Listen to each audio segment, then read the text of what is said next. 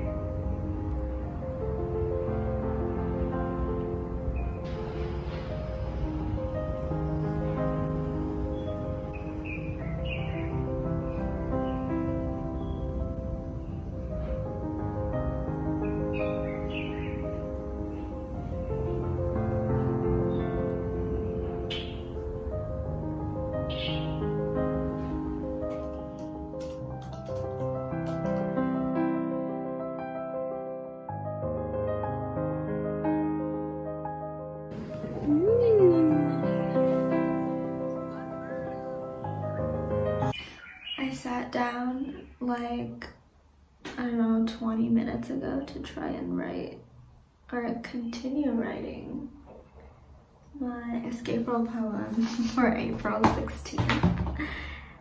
And what did I end up doing?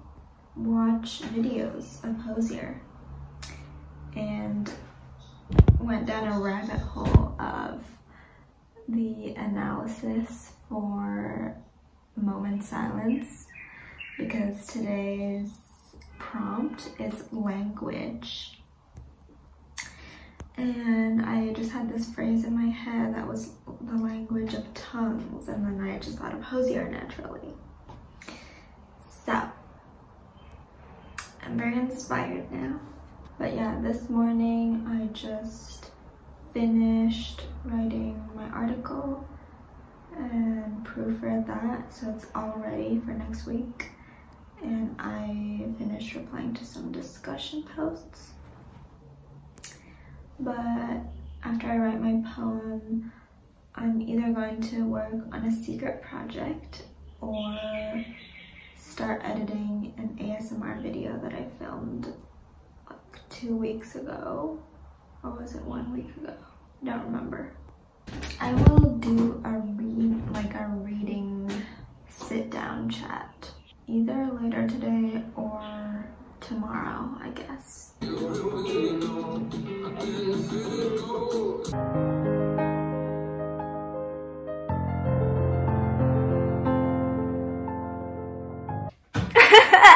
I never filmed here before. This is so funny. Made it. Mayday, mayday, mayday. Welcome to my garden. Ta-da!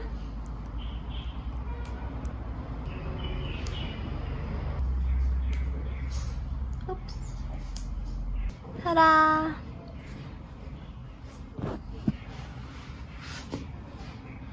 Sometimes borage, instead of being blue, it's like, it's like this color.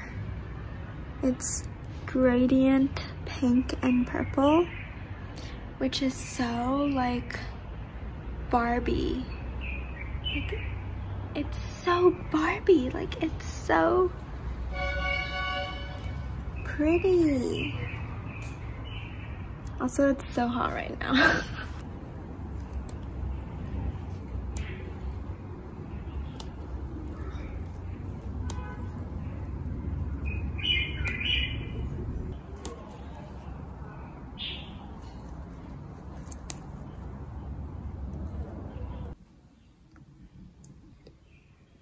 I'm gonna try this croissant that my sister made yesterday. Um, it was her first time making croissant, but it still looks very good. And this is dark chocolate.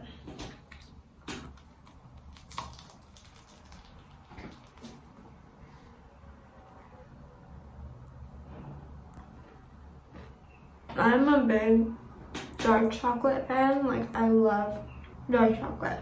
But this could be sweeter. I mean, it does have layers, but I still like it. If we had some chocolate syrup, oh my god, chocolate syrup. Or I would, I would have this with ice cream, honestly. Okay, I'm gonna finish my yogurt and go get some ice cream.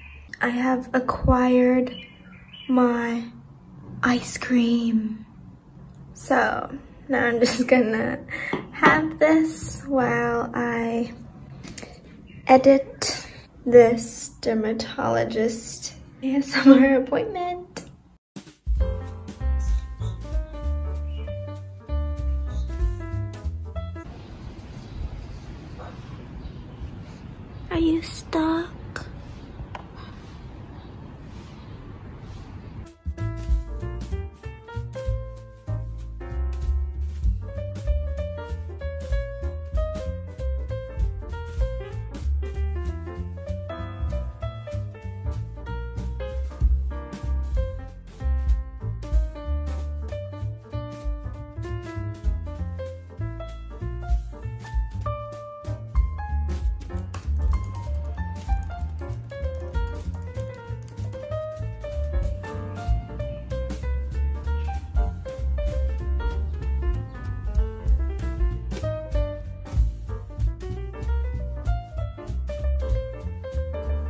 I just finished um, working on my secret project and now, hmm, should I shower now or should I edit? Because I have to cook tonight and I want to have some chill time in bed. I was just starting to edit a little reel or a short that is about Hotel World by Ali Smith, which is a book that my boyfriend recommended to me.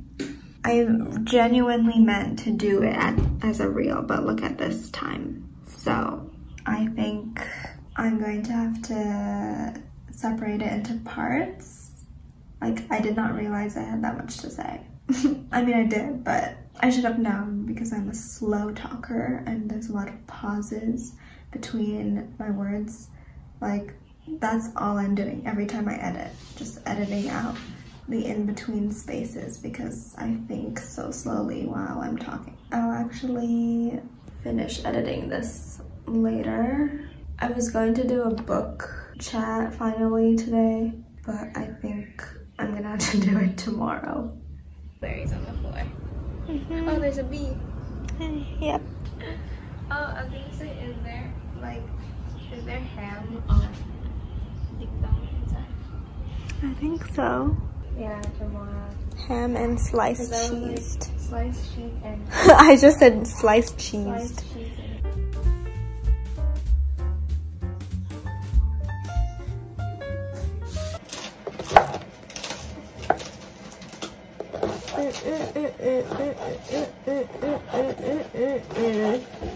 I've never before. Do you want me to feel? Yes, okay. Want to be some for me? Yes. Little stars.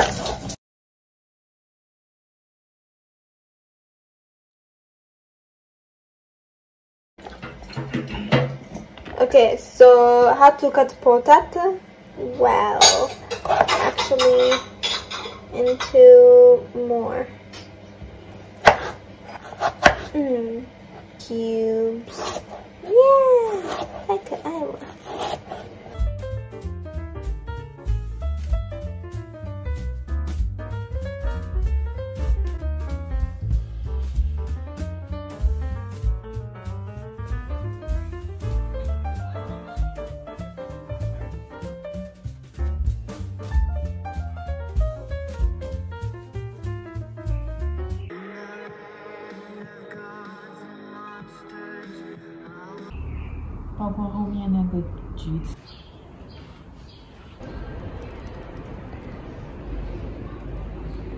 Kafka!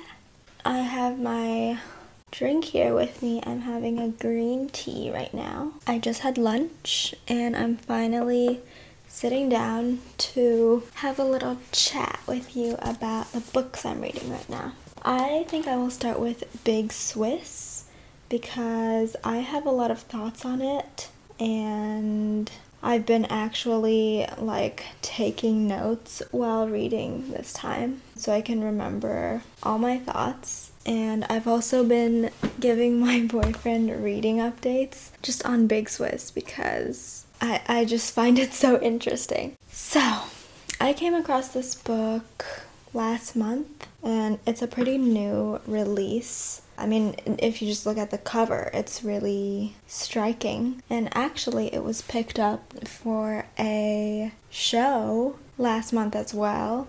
And Jodie Comer is to be starring in it. Like, that's to be so cool. But basically, it's about this transcriptionist named Greta who transcribes therapy sessions from this therapist named Om in a small town called Hudson, which is in New York. And she enjoys her job because she likes the eavesdropping aspect of it and she likes working from home. She lives in this old Dutch farmhouse with her roommate Sabine. The house is in so many stages of just falling apart. It's not well suited for living in. It's uninsulated, and there's literally a beehive in the middle of the living room. And her roommate, instead of getting rid of it like a normal person, as she says, she liked it so much that she asked a beekeeper to build an enclosure around it. So they have this beehive in their house and the bees are all dying off. I mean, because yeah, that's not its natural living habitat but I thought that was very interesting. The farmhouse is described, oh, her roommate owns the Dutch farmhouse, by the way. The house sat on 12 acres and was surrounded by fruit and dairy farms. Although it felt like the edge of nowhere, they were only a one cigarette drive from town. Also, Greta has this habit of comparing women she likes to vegetables, which I found interesting. When she was talking about her roommate, she's like, personality wise, she reminded Greta of one of those exotic vegetables she was drawn to at the farmer's market but didn't know how to cook. Yeah, I just like that. But then the book is named Big Swiss because one of the therapist's clients is this tall Swiss woman, and she only knows the patients by their initials because she's just a transcriptionist.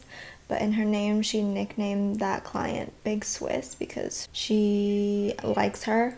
She's fascinated by her. Big Swiss is this gynecologist, but she's never had an orgasm, not even by herself. And the way it was like revealed to you as a reader and also Om was really funny. But Big Swiss was you find out in the very in near the beginning that Big Swiss was violently assaulted 8 years ago, but she's very removed from her experience like she doesn't let that define her.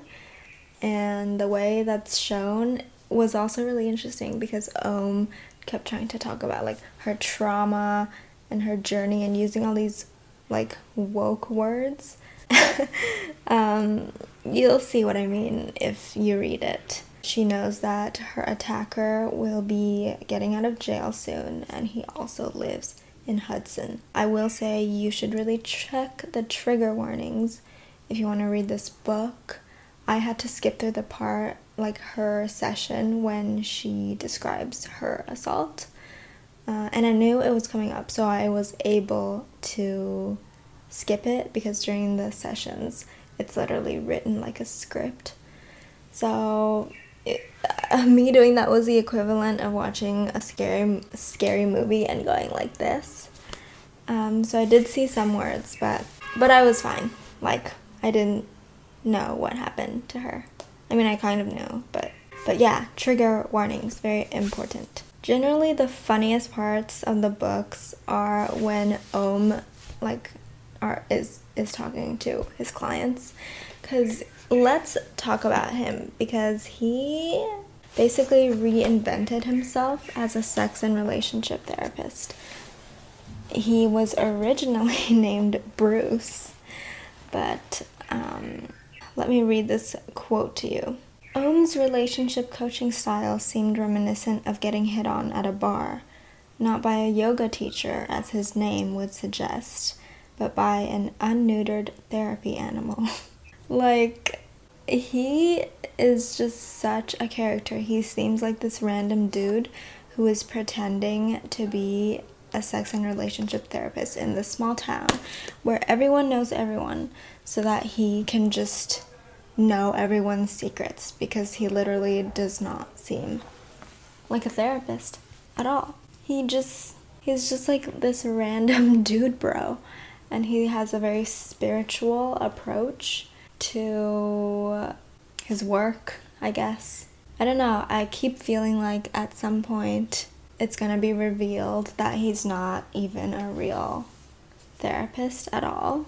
Like my question is is he an actual therapist and maybe he's not and maybe he really just wants to know everyone's secrets.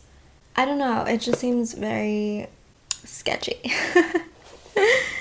Um, but more about the main character greta. She had a very disturbing childhood and she, when she was in her mid 30s she met this man called stacy who she was engaged to for a really long time i think 9 or 10 years but in the end, she just couldn't fathom having a healthy, loving relationship because of her childhood, I guess. So she broke his heart, she left him, and now she's here in Hudson doing this job. Also, she met Big Swiss in real life actually, and she said her name was Rebecca. Now I'm at the part where they went to this bar together to have some drinks. Greta got really drunk because she's like, she's trying not to let Big Swiss become friends with her uh, because, you know, she knows all these secrets about Big Swiss and she knows that would probably ruin a chance at a real friendship and so she tries to be as obnoxious as possible and it's just turning out really funny. I guess that's all I have to say about Big Swiss for now. But now let's move on to Metamorphosis. So this is a classic that you've probably heard of and you've either read or it's on your TBR or maybe you haven't heard of it. But Metamorphosis is a classic book by Kafka and it's really short. It's not this whole thing actually. The story is only 50 pages long. Uh, like this is the story. Although the text in here is very, very small. Like, look at that. It was very hard to read. But it also has some explanatory notes to the text, which I, I underlined a lot of. And there were some of his letters to people. Um, and then now I'm at the end part, which is just all these critical essays, which I've also underlined a lot of, and it's helping me understand the story more. But basically, it's about this man named Gregor Samsa who wakes up one day as a giant bug. And there's been different translations, like he's a vermin, he's a cockroach, he's a beetle, but none of these are correct, I guess you would say, because it's not meant to be interpreted as him being a real bug. It's just like a metaphor. But for the sake of me just talking about this, I'm just going to say cockroach. So he can't go to work. He finds that he can't communicate with his family anymore, and his family become very like annoyed with him and also disgusted by him and he's confined to his room for like months and months. I wouldn't say there's really a plot in this story. It's a no plot, just vibes kind of book, and a lot of the main character's inner conflicts and his conflicts with the world around him are sort of autobiographical. Don't quote me on that, but I'm just saying there's a lot of similarities between those and Kafka's real conflicts that he had in real life, which is what the critical essays are talking about. So I guess that's all I'll say about that for now because I don't want to spoil it. But later in this vlog, I think I will read some quotes from the critical essays that I thought were interesting. Because I've been talking for way too long now.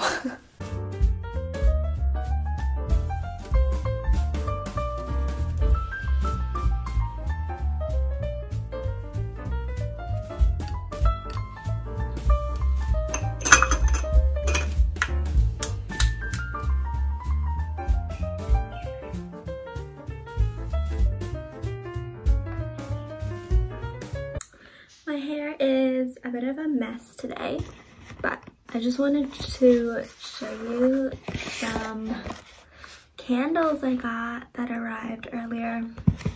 By the way, I got this one recently as well. It's so cute, but I wasn't a huge fan of the smell. It says it's lavender, but it's not. It's just a fake like hotel scent except a too strong hotel scent for my small room. Like if it was actually burned at a hotel where it's big it's fine. But this is not this is way too strong. I cannot use that before bed when all my windows are already closed. So I rebought this candle which you've probably seen in my vlogs before. Mm so good. This is lavender eucalyptus. I always need to have a lavender candle, like a legit lavender candle because I always need to calm down. And then you've probably also seen like this kind of shaped candle, but this is another scent that I haven't gotten before. It's called romantic silk flowers. um, it's kind of strong for my liking. It smells like a very feminine floral scent. And I would say it is romantic. I don't remember if there's flat uh, rose notes in here. I do remember there's also some lavender notes in here. I don't know how much I would like to burn this in my room at night as well because it smells so strong. But this one was a highly recommended scent from their store. And now I'm like even more skeptical of highly recommended candle scents because I'm very particular about scents to begin with. I don't like very strong or fake ones. But I do like this store's candles better, so yay!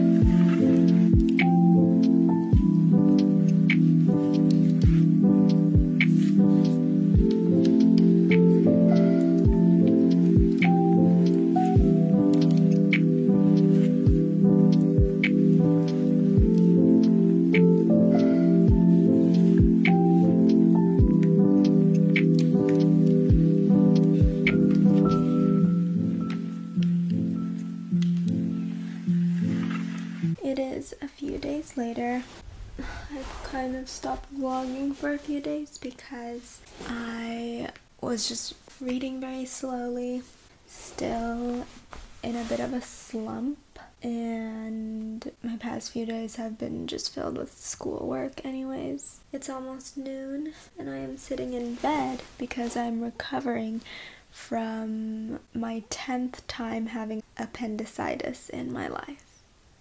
10 times. Can you believe that? Me neither. Last night was horrible. I was in a lot of pain. I am still in pain. But I've done this 10 times, so you know, don't worry about me. I kind of wanted to give an update on Big Swiss because I have actually been reading that more and I have reading notes made more notes. So, last time, I forget where I ended talking last time. I think I was saying that Greta accidentally met Big Swiss in real life at the dog park and she recognized her voice and then they sort of become friends and started having this affair because Big Swiss is married. Big Swiss realized she was being followed by someone, not her attacker, but just these random guys in vans. But most of the story revolved around Big Swiss and Greta's relationship.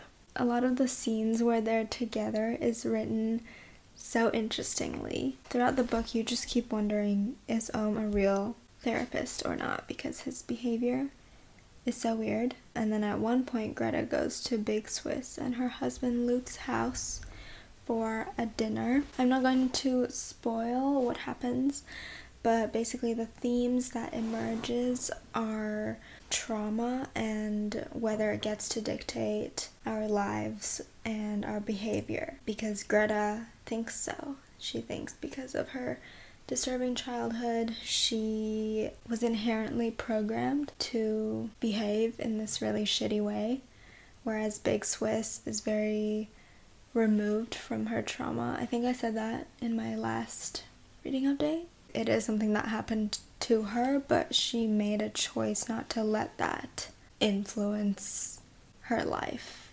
Like, that's not what her whole life is about. So, that is very interesting. So, I'm 83% in now. So, I'm almost done. I'll either finish it today or tomorrow. I want to watch a movie today, so maybe not today, but tomorrow, yes.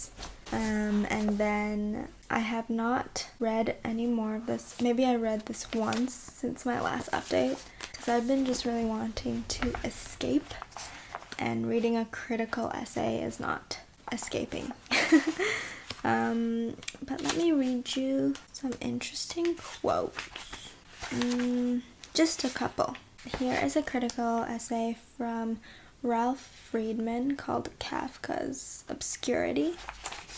And at one point, he says that Gregor Samsa turning into a bug was actually an aspired condition.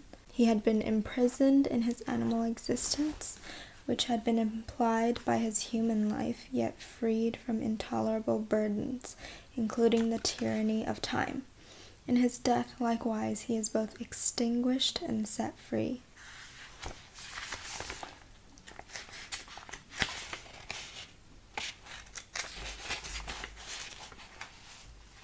Here's another one from Edwin Hong. He says that Gregor has no vital mission and he has cut himself off from society. Instead of finding his many actual identities, he shrinks and is finally converted into nothingness. There's no moral closure in the metamorphosis. It ends with the stark critical question of the individual and society, which Gregor's metamorphosis poses. Um, I think that's all I will read you right now. But the critical essays at the end have definitely helped me a lot in thinking more about the novel.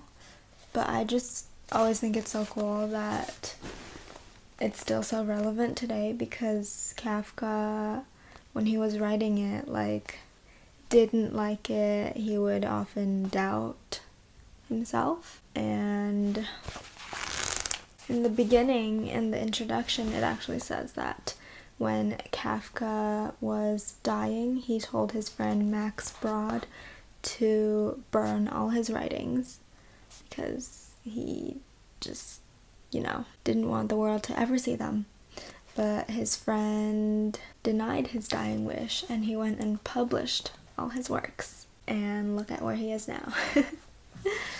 I just think that's so cool.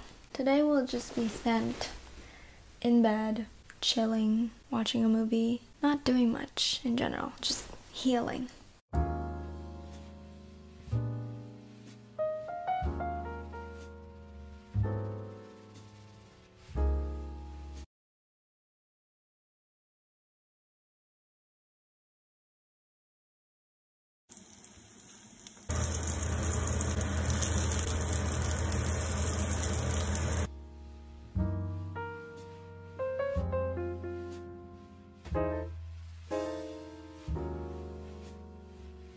So it's two days later, and I have finished Big Swiss. I spent the last two days mostly in bed, just chilling and watching stuff and editing a lot actually. And I finished Big Swiss last night, and I gave it four stars because it was such an interesting read. I haven't read a book this closely in so long, like actually taking the time to take notes while I'm reading it, just paying a lot of attention. And I've been talking to my boyfriend about it basically every day. So it was almost like we were reading it together. That's been really fun. The ending was, well, a part of the ending was kind of unexpected. I'm still thinking about why that happened. You also get to know even more about Greta's backstory at the very end of the book um, and that was done in a interesting way. Like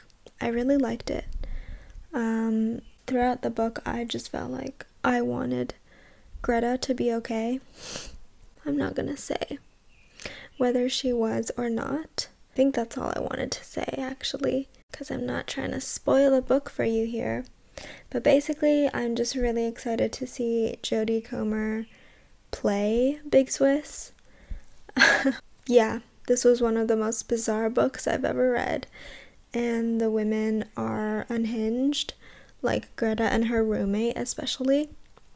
They have such interesting interactions with each other. This has been a pretty long vlog, I think. I've already started editing it, and I just started a new vlog today as well. I hope you enjoy this reading vlog. Um, I'll see you in the next one.